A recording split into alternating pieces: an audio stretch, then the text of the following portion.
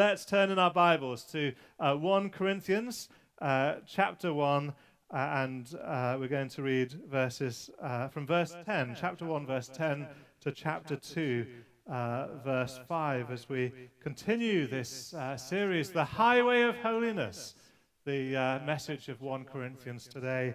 it is a, a, very special Sunday in which, with the whole nation, we remember the Queen and celebrate her reign. Uh, one member of parliament, Tim Farron, said uh, when MPs were um, paying tribute to the Queen, he said, She was a constant to us all. But, he said, as has been said already, the constant in her life was her faith in Jesus Christ. He said, Let us remember this. For many people, it may be a perfunctory ceremonial faith, but for her, it was not. It was a living, active faith in a living Savior. Isn't that wonderful? And uh, the living Savior is here with us today. We're going to think more about the Queen next week, and uh, I will refer to her again as we come to the end of the sermon. Um, but we're continuing to think all the time about our living Savior and to celebrate Him. And so we turn to our Bibles to 1 Corinthians chapter 10, uh, chapter 1, verse 10, uh, reading through to chapter 2, verse 5.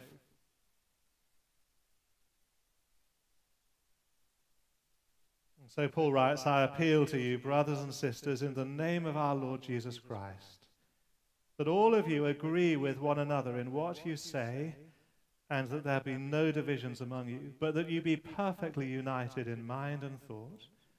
And my brothers and sisters, some from Chloe's household, have informed me that there are quarrels among you. What I mean is this one of you says, I follow Paul, another, I follow Apollos, another, I follow Cephas Still another, I follow Christ. Is Christ divided? Was Paul crucified for you? Were you baptized in the name of Paul? I thank God that I did not baptize any of you except Crispus and Gaius, so no one can say that you were baptized in my name. Yes, I also baptized the household of Stephanas. Beyond that, I don't remember if I baptized anyone else. For Christ did not send me to baptize, but to preach the gospel not with wisdom and eloquence, lest the cross of Christ be emptied of its power. For the message of the cross is foolishness to those who are perishing, but to us who are being saved, it is the power of God. For it is written, I will destroy the wisdom of the wise, the intelligence of the intelligent I will frustrate.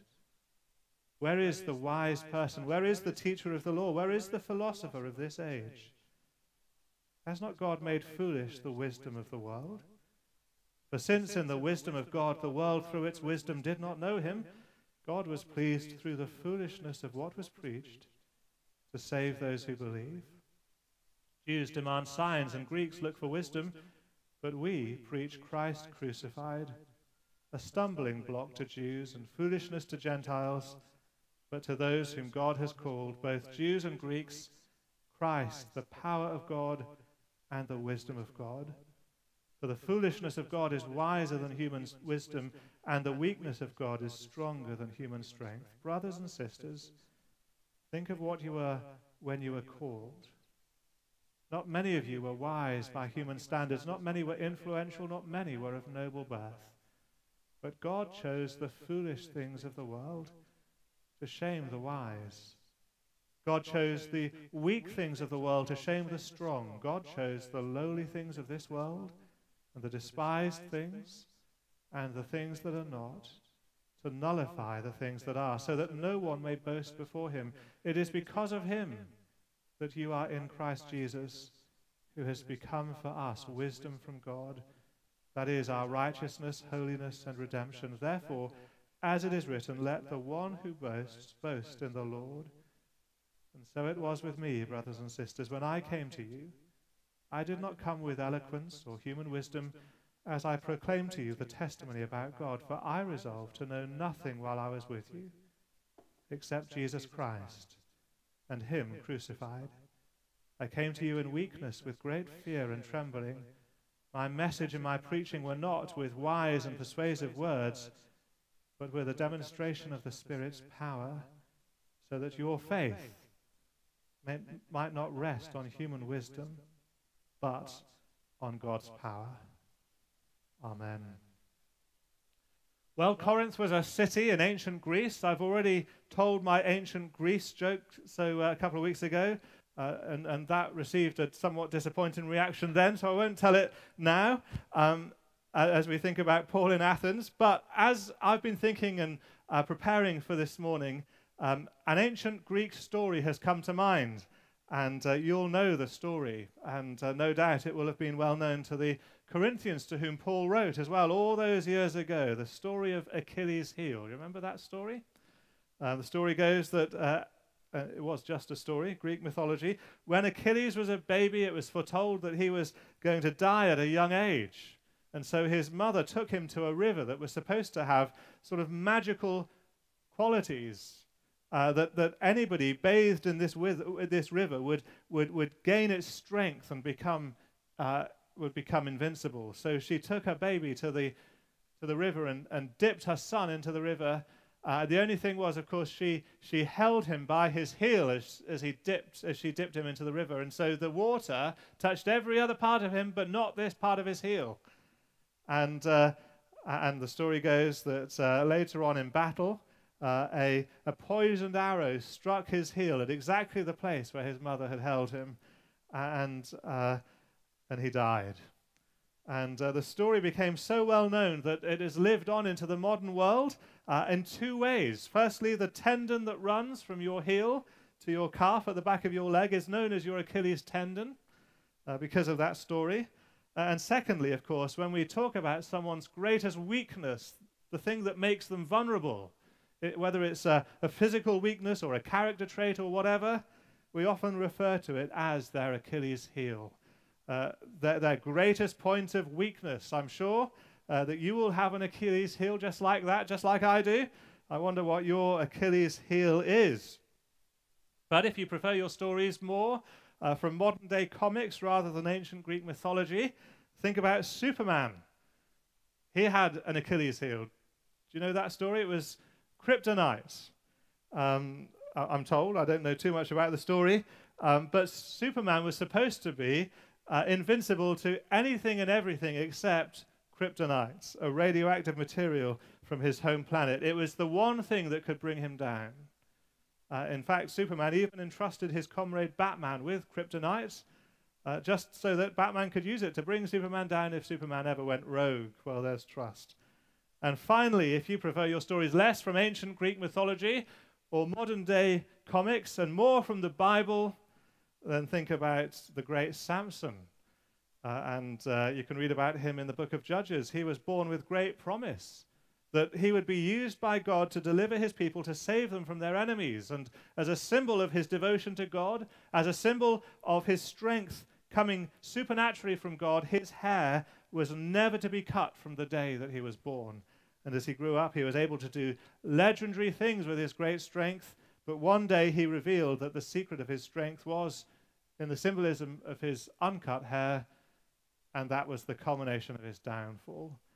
So, what has all of that got to do with the highway of holiness? Our next steps in this journey towards uh, through through the message of 1 Corinthians today? Well, as I say, these Corinthian Christians would have known the story of Achilles' heel, his great weakness which led to his downfall.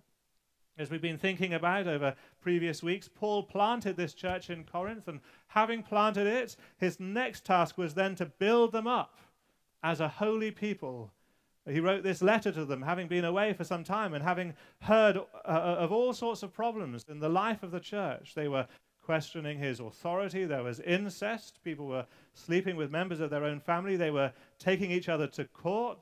The sexual immorality, which was rife in surrounding culture, had found its way into the church. Uh, and the Christians were behaving no differently from everyone else around them. There, was all, there were all sorts of disagreements about their beliefs. Their Sunday services were chaotic. It was a church that was filled with all sorts of problems, and yet the very first thing to which Paul turned, the greatest problem of them all, the greatest weakness of the church, their greatest vulnerability, was the things of which we have read today. If anything would bring down the church, it would be these issues, these problems. And it seems to me that the Holy Spirit inspired Paul to write these words, preserved them in the Bible for us, because they are not only the greatest weakness for that church back then in the first century in Corinth, but the greatest weakness of the church throughout time in every place. And therefore, these will be the greatest weaknesses of Freedom Church too, our greatest vulnerability. The things that could bring us down faster than anything else. If we were to mix Greek mythology with biblical theology, not always a wise thing to do. Paul uh, will argue against that later, but, but we could say that Paul here shows the church its Achilles heel. That's the sort of language he uses. Did you notice it? The language of weakness and vulnerability, and even of emptying the cross of its power. Look again at verse 17 of chapter 1 if you've got your Bible there. For Christ did not send me to baptize, but to preach the gospel, not with wisdom and eloquence, lest the cross of Christ be emptied of its power. What are these two great weaknesses? We'll look at them both in turn. Uh, the first looks inwards at the unity of the church, and the second looks outward at the uniqueness of our message. There's two U's there the unity of the church, the uniqueness of our message. Or to put it another way, we could talk about it in terms of the problems there were in Corinth. They were boasting and they were boasting about the wrong things. There wasn't unity, there was disunity because they were boasting in their leaders. Uh, they had lost their unique message because they were boasting in their wisdom. And Paul, having described the problem, he then, well, he diagnoses the problem and then he prescribes the antidote. It's to boast in the Lord and his cross, and we'll come to that at the end. So, what wonderful things to think about this morning as a church. We're a church that has been planted and which is called by the Lord to be built up into his holy people. So, firstly, the unity of the church and where it all went wrong in Corinth, boasting in their leaders. Uh, look at the, the strong words with which Paul begins. You can hear his, his desperation.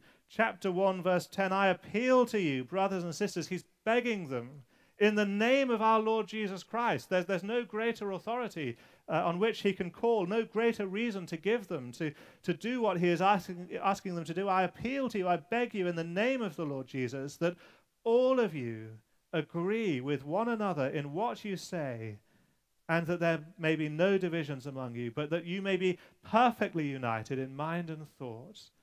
Sounds like an almost impossible challenge, doesn't it? All of you agree with one another in what you say. No divisions among you, perfectly united in mind and thought. If you didn't know any better, you might ask, well, has he ever seen a church before? Has he ever been to a church? What's he thinking that a church could be united like this? It's a, it's a vivid image he presents. Uh, when he writes about there being no divisions, the word he uses describes a, a piece of cloth being torn apart. That's what their divisions were doing. They were being torn apart by these things. And when he writes about them being perfectly united, he uses the same word that Mark uses in his gospel when he writes about the disciples mending their nets. The fishermen were reuniting the cords that had been torn apart. Jesus had said to those disciples, and therefore to all disciples who would come after him, including us, from this time on, you will fish for people. We're supposed to be a net in the hands of the Lord. But when there's disunity, the, the net is torn apart. And the, the danger is that people will then slip through the nets. How dreadful that will be. What is, after all, the, the greatest witness to the good news of Jesus in this world? Jesus later said to his disciples, By this shall everyone know that you are my disciples, if you have love one for another. There's not much love in disunity. The net becomes torn, people slip through it, and we continually need the Lord to be at work amongst us in the power of His Holy Spirit, mending the net, reuniting us so that we can move in the direction of perfect unity. As I say, the problem in Corinth, the thing that was causing their disunity, is that they were boasting in their leaders. And different Christians were boasting about different leaders. And someone had told Paul about it. Verse 11 My brothers and sisters, some from Chloe's household have informed me that there are quarrels among you. What I mean is this one of you says, I follow Paul. Another, I follow Apollos. Another, I follow Cephas. That's the, the Greek name for Peter. Still another, I follow Christ. Now, the thing is that the leaders themselves weren't divided. Paul worked closely with Apollos. He had differences with Peter at times, but they worked them through and remained united. And yet, people were using them as focal points to divide around. And some were saying, I don't need any leader at all. It's just me and the Lord. You, you might say you follow Paul or Apollos or Peter. Well, I follow Christ. I don't need the rest of you. Well, what about Freedom Church? I mean, it's, it's James who does it for me, you know, with his baseball caps. He looks so cool. And with the, the energy and, and, and dynamism that he brings, the passion that he brings to his faith, it's James who does it for me. What about you? Some people might say, well, it's John who does it for me in Freedom Church. You know, he, he's the real deal. He, he planted, he's the one who planted Freedom Church. It wouldn't be here without him. And, and if that's not enough, he's now the, he's the national leader of, of the Free Methodist Church, the, the whole country. It's John. He's, he's the real deal. And, and who knows, there might be one or two who say, well, it's David who's got my vote. You know, someone's got to vote for him, haven't they? And uh, he tries his best, bless him. No one really, no one really laughs at his jokes. He always uses self-deprecating humor to try to get people to like him. And, and he's, he, you know, someone's got, I always back the underdog. David's my man, you know. Or, or, or, some of you might say, well, it's none of those people at Freedom Church. I love the preachers at the Church of Saint, what's it called? Saint, Saint YouTube. You, that church? Uh, or, or, or, better off, uh, or, or, or, you know, or I'm, actually, I don't want any of them at all. I'm better off without any of these leaders. It's just me and the Lord. Ageless cry. Well, what a mess Freedom Church would be in if that was the way that it was. We would be like a fishing net that is good for nothing because it's full of holes and the fish just keep swimming through. May the Lord unite us perfectly in Him. As James was saying last week, one of the the overarching problems in Corinth was the, the culture of surrounding society was, was creeping into the church. Uh, and it was just that way with, with their boasting around their leaders. That's just what they did in the wider world of Corinth. The, the great philosophers, the great speakers, the great teachers would all compete to get the people to follow them.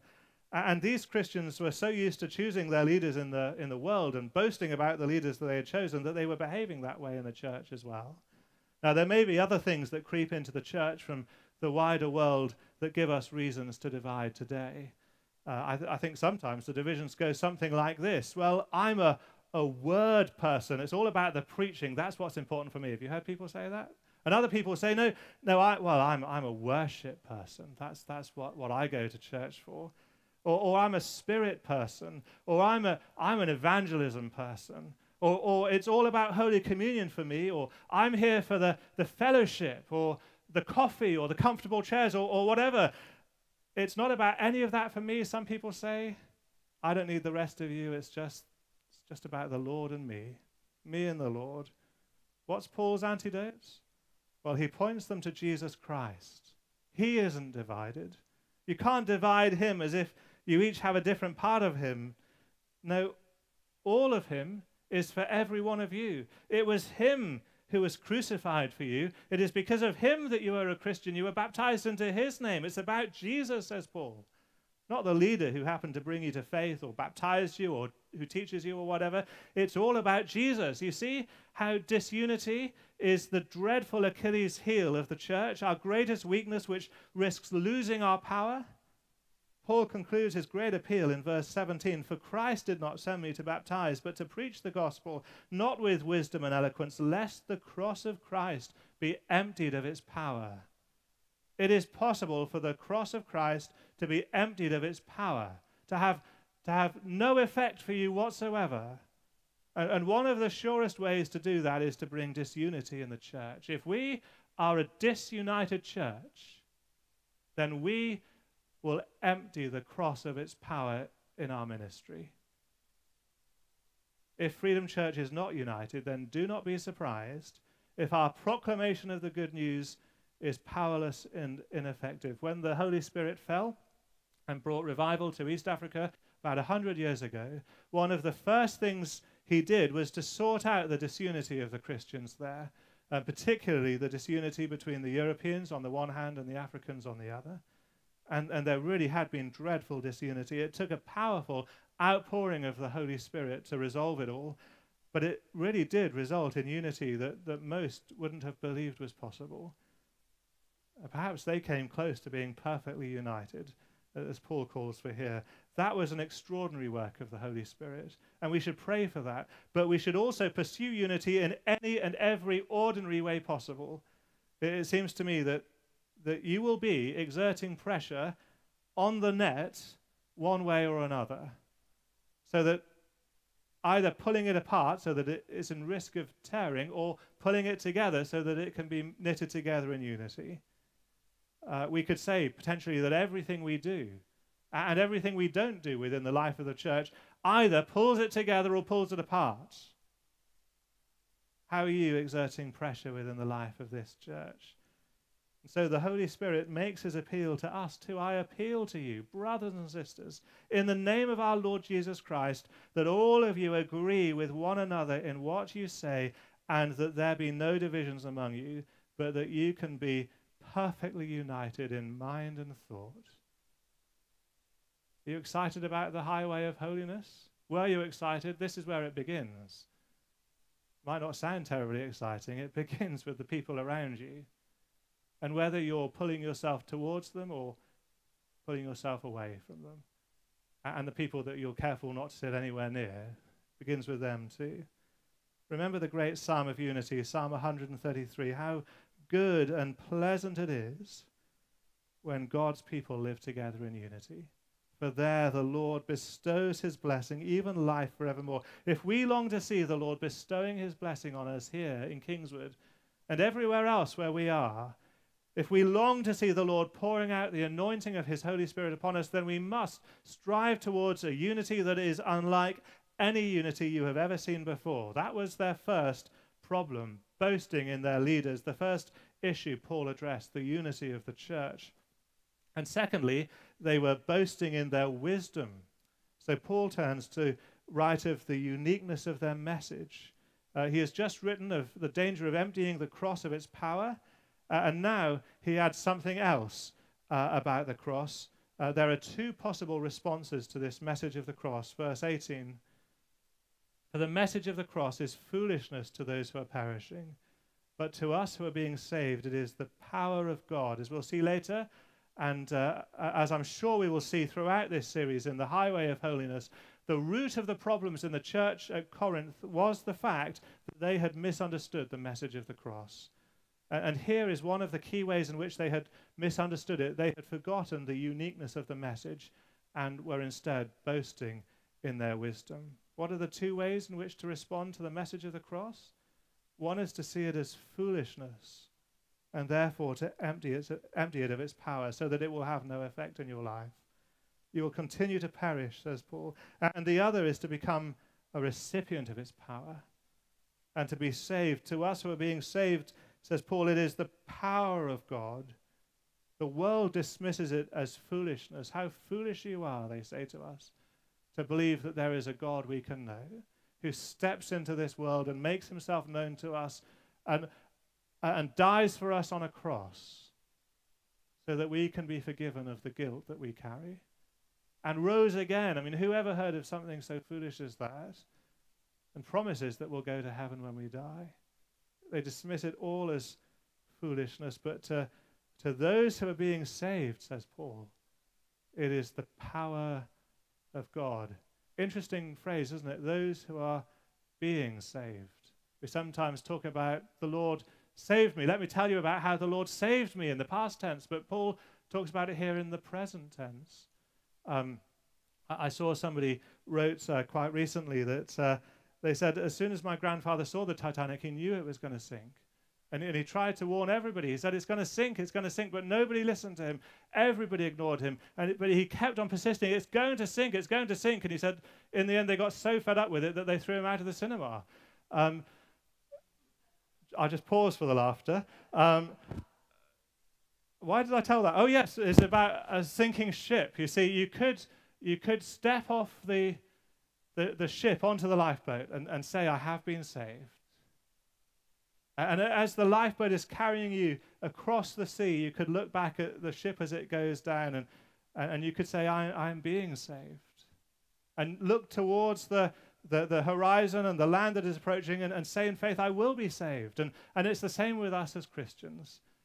Uh, that's what the cross does in our lives. As soon as we run to the cross and, and, and cling to the cross, we can say, I have been saved. And as we journey through this life and, and, and God works in our lives through the power of the cross, we can say, I am being saved. And we can look to the future with glorious hope and say, I will be saved. To those who are being saved, the cross is, is the power of God. The Christians in Corinth were boasting in their wisdom and just, just like everybody else in the world around them. And so they were in danger of making the cross out to be foolishness.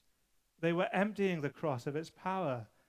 and yet, the only reason the church in Corinth existed was because the, the cross had been at the heart of the message that Paul had preached there. Uh, we're going to hear about this as we come to 1 Corinthians 15 later in this series. Now, brothers and sisters, he says, I want to remind you of the gospel I preached to you by this gospel you are saved if you hold firmly to it. For what I received, I passed on to you that Christ died for our sins, according to the scriptures, that he was buried, that he, he raised, he was raised on the third day, according to the scriptures, and, and that he appeared to Cephas. Time and time again throughout Paul's ministry, the message proved to be a stumbling block and was dismissed as foolishness. Jews demand signs, he says, and Greeks look for wisdom. In the synagogues, they dismissed the crucifixion as foolishness. They wouldn't entertain the idea of the resurrection. They were looking for greater and greater signs, and yet they dismissed the greatest sign of all that God had raised Jesus from the dead. Greeks paraded their wisdom or looked for some special secret, and yet, yet they missed it all. They, they tried to climb up the ladder of their own wisdom and intelligence to reach God, and yet they would find that the ladder would never go high enough.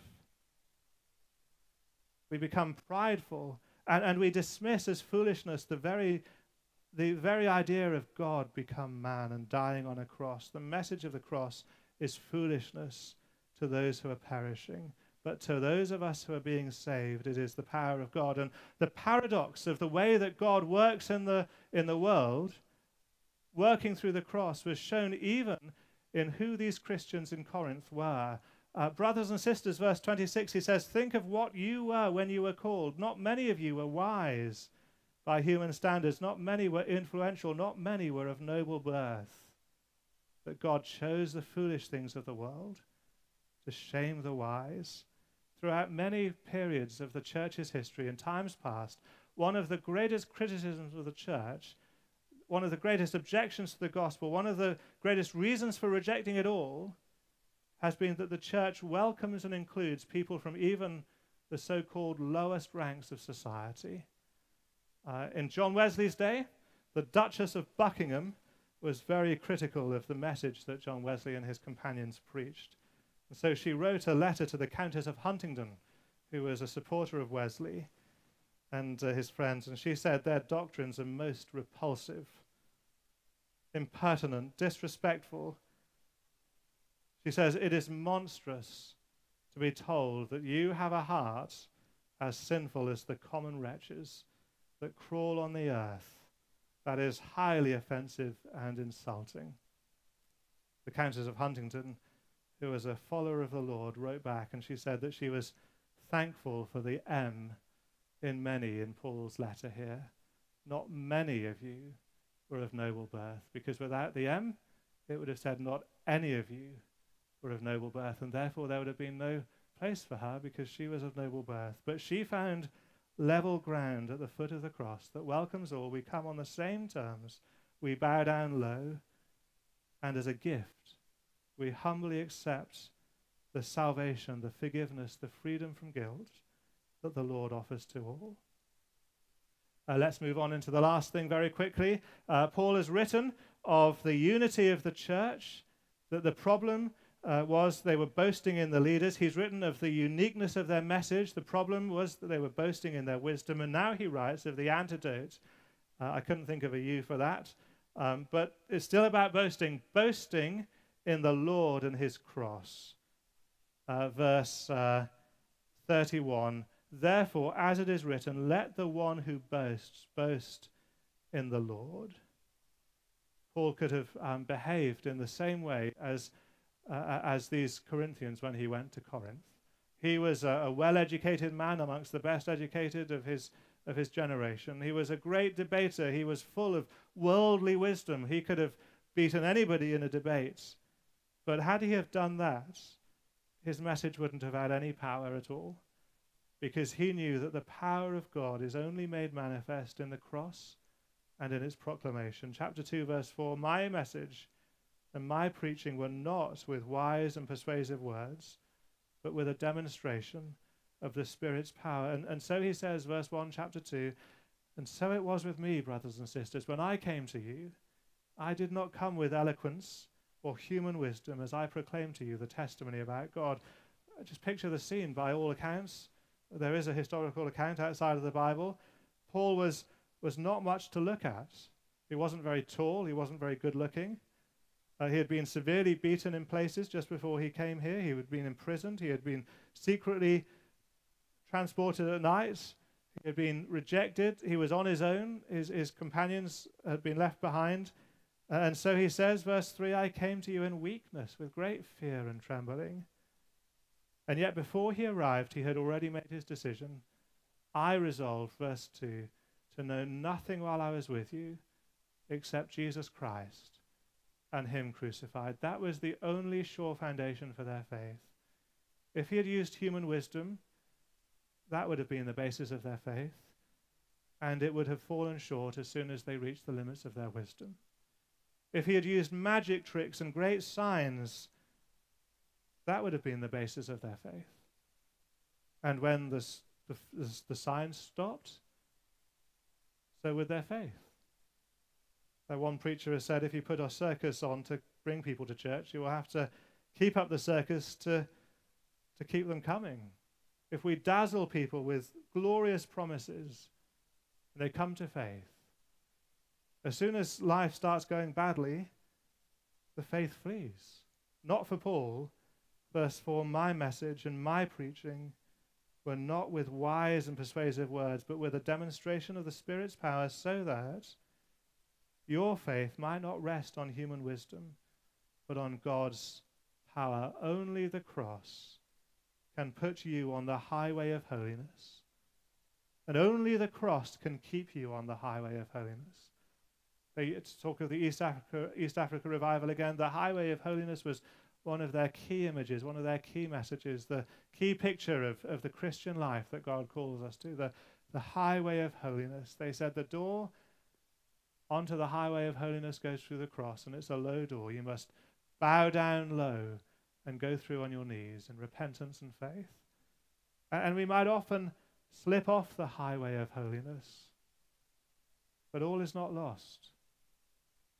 There, there is a way back, but it's the way at which, in which we came at first. That low door through the cross, humbly coming on our knees in repentance and faith to walk again as the Lord calls us to walk.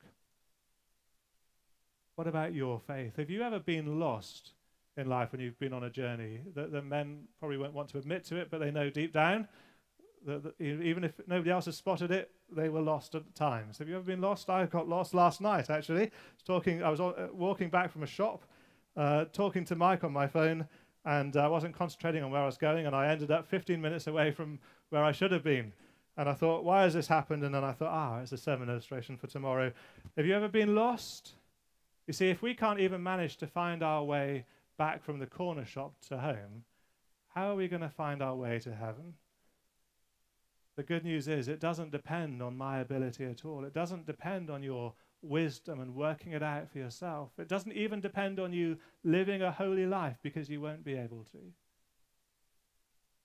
It depends on Him on Jesus Christ, on all he has done for you. It depends on the power of God shown in the cross. It's level ground. And there's always a way back through that very same cross. We have an Achilles heel in the church. It is the unity of the church. The problem was that they were boasting in their leaders. Let that never be a problem here. Their, their, their Achilles heel was also in the uniqueness of their message. They had lost the uniqueness of their message because they were boasting in their wisdom. May that never be a problem here. The antidote is boasting in the Lord and in his cross, and then in his power, we will be truly invincible. Can you find a place for this Lord, this Savior in your heart? And can you find a place in your heart for your brothers and sisters in Christ, even though they might be very annoying at times, even though they might be wrong at, the t- at times and not see why you're so right? Can you find a place in your heart for them? That's the call of, of the Holy Spirit to us today. I, I appeal to you, brothers and sisters, in the name of our Lord Jesus Christ, that all of you agree with one another that you should be perfectly united. I promised that uh, I would return to the Queen at the end of the service. When she died last week, um, and, and, it was said with deliberate uh, hyperbole um, that in her passing, the Church of England had lost its greatest evangelist. Uh, they, they meant that, of course, uh, every Christmas, once a year, that the Queen clearly spoke to, to millions and millions and millions of people around the world of her faith in Jesus Christ. And uh, on her Christmas Day message in, in 2011, this is what she said after speaking about her family. Uh, for many, she said, this Christmas will not be easy with our armed forces deployed around the world. Thousands of service families face Christmas without their loved ones at home. The bereaved and the lonely will find it especially hard and as we all know, the world is going through difficult times. All this will affect our celebration of this great Christian festival. Finding hope in adversity is one of the themes of Christmas. Jesus was born into a world full of fear. The angels came to frighten shepherds with hope in their voices. Fear not, they said. We bring you tidings of great joy, which shall be to all people. For unto you is born this day in the city of David a Saviour who is Christ the Lord. He went on, although we are capable of great acts of kindness, history teaches that we sometimes need saving from ourselves, from our recklessness or our greed. God sent into the world a unique person, neither a philosopher nor a general, important though they are, but a Saviour with the power to forgive. Forgiveness lies at the heart of the Christian faith. It can heal broken families. It can restore friendships. It can reconcile divided communities. It is in forgiveness that we feel the power of God's love. In the last verse of this beautiful carol, she said, O little town of Bethlehem, there's a prayer. O holy child of Bethlehem, descend to us, we pray. Cast out our sin and enter in. Be born in us today. And she concluded, and here we will conclude today too. It is my prayer, she said, on this Christmas day, that we might all find room in our lives for the message of the angels and for the love of God through Christ our Lord. Amen.